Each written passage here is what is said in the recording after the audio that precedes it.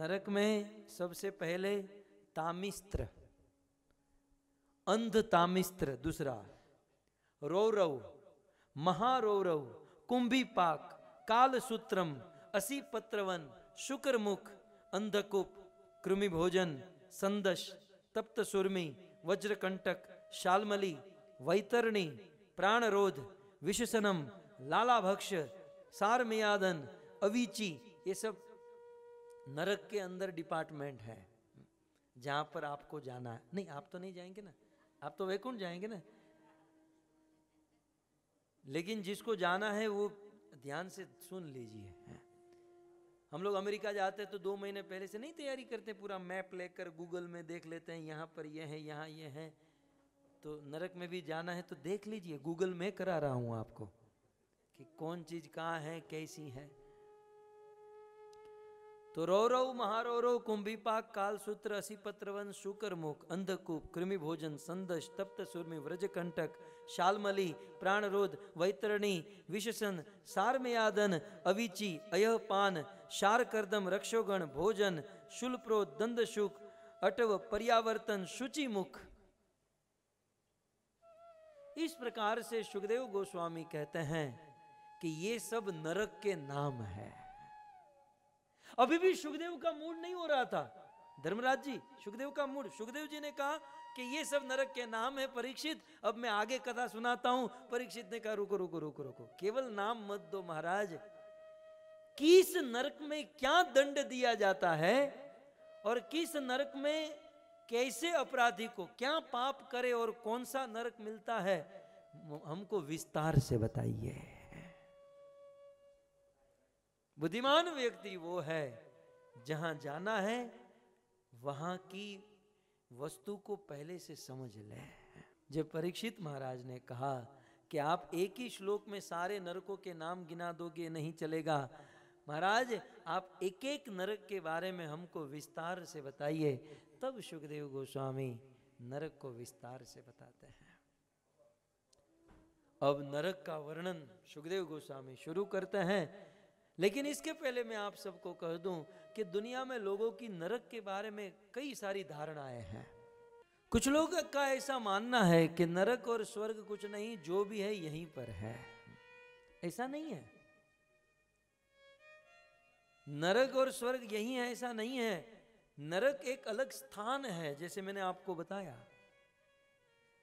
कुछ लोग ऐसा कहते हैं कि जो भी दंड मिलता है, दुख मिलता है, हमको यहीं पर मिलता है। नरक स्वर्ग कुछ नहीं। हाँ यहाँ पर हमें दंड मिलता है, लेकिन वो हमारे पाप का वास्तविक दंड नहीं है। यहाँ जो हमें दंड मिलता है, वो तो मात्र एक सैंपल है। रियल वास्तविक दंड तो नरक मिल, जैसे, फॉर एग्ज़ाम्पल आपका थाईलैंड में मुझे पता नहीं, लेकिन भारत में जब कोई पुलिस चोर को चोरी करते हुए पकड़ लेते तो डंडे से बहुत पीटते हैं। उसी जगह पर ही वो पुलिस दो पाँच डंडे मारती हैं और पकड़ लेते हैं और लेकर जाते हैं। तो उस चोर को डंडे से मारना, ये उसकी वास्तविक सजा नहीं है है ना? ये तो एक सैंपल है। वास्तविक सजा तो उस चोर को कोर्ट में ले जाएँगे और जज जजमेंट देंगे, उसे ये जेल में डालना है, वो उसकी वास्तविक सजा होगी। इस दुनिया में हमें जो दुख मिल रहा है, वो एक सैंपल है। वास्तविक दंड तो यमराज देंगे और वह दंड हमें नरक में भुगतना होगा। कुछ लोग तो ऐसा मानते हैं, उससे भी गए गुजरे, कि नरक है ही नहीं। ये सब लोगों को डराने के लिए कहा जाता है। भाई, तुमको डराने से हमको क्या मिलने वाला है? मुझे ये बताइए। दूसरों को डराने से क्या मिलेगा? तो कुछ लोग कहते हैं कि बस ऋषि मुनियों ने जीवों को डराने के लिए नरक की बातें की। नरक वरक कुछ नहीं है। यदि नरक होता तो हमको दिखता। हमको दिखाई नहीं दे रहा है। मतलब नरक नहीं है। ऐसे मूर्खों को कहना चाहिए, क्या आपको हवा दिखाई दे रही है? हमें हवा नहीं दिखाई देती है तो क्या इसका मतलब यह है कि हवा नहीं है? अरे कुछ चीज़ ऐसी होती है जो हमारे ज्ञान से परे होती है, हमारी दृष्टि से परे होती है। कई बार कुछ लोग कहते हैं, अरे छोड़ो, नरक वरक को किसने देखा है, नरक किसने देखा है? तूने नहीं देखा, सुखदेव ने देखा, वेदव्यास जी ने देखा, कृष्ण ने देखा भगवत गीता में बताया, जिसने देखा है उनको पूछो। बुद्धिमानी वही है ना, कि जो देखा है उनका अनुभव हम कई बार कुछ लोग कहते हैं, नरक होता तो दिखाई देता, हम जाते। पहले क्या होते? आजकल तो ये मोबाइल फ़ोन आ गए। पहले वो वायर वाले फ़ोन हुआ करते थे और फिर उसमें वैसे गोल गोल घुमा कर हम फ़ोन करते थे।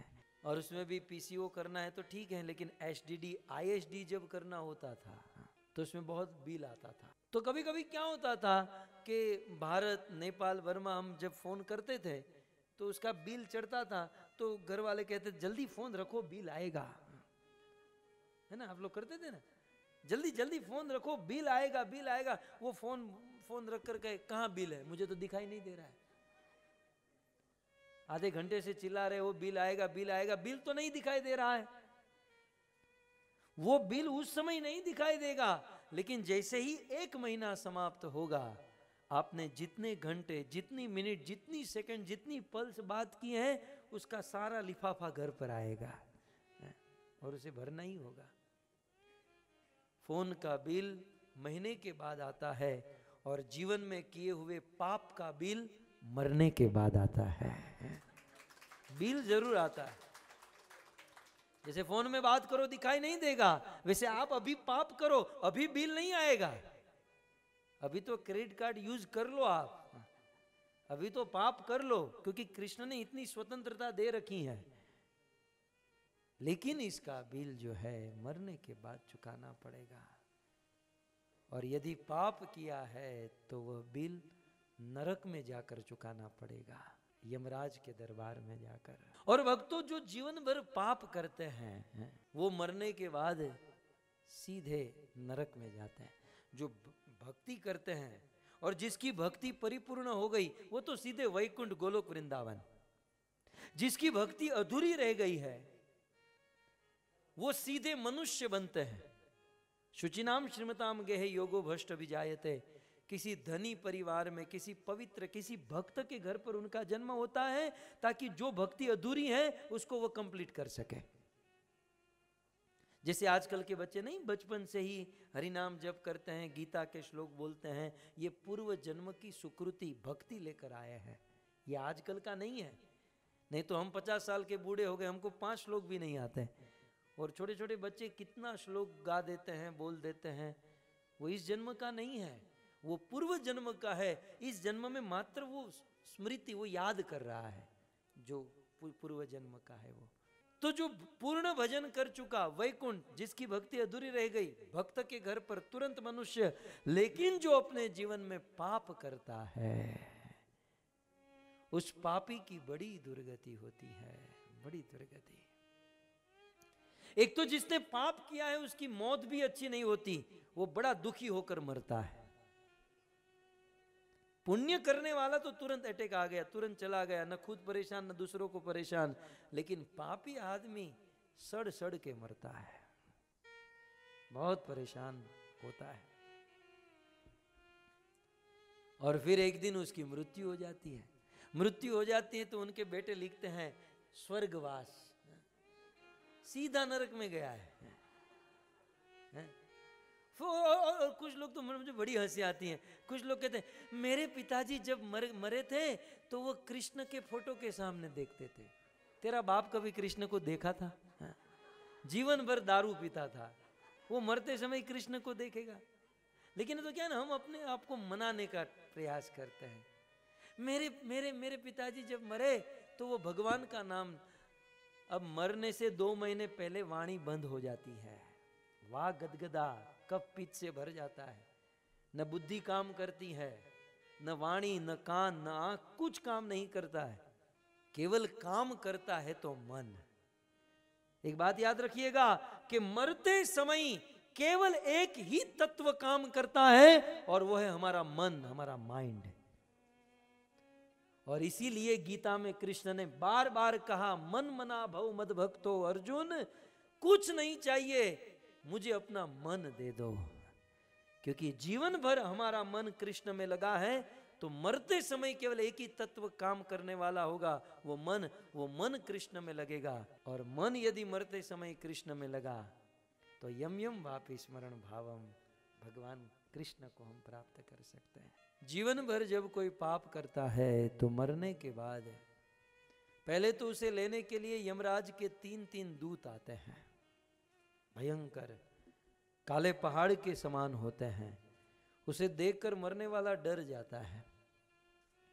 और डर के मारे पसीना छूट जाता है, आँखें फट जाती हैं और शरीर में जो भी मल मूत्र होता है निकल जाता है, क्योंकि भयंकर दूतों को वह देख चुका है।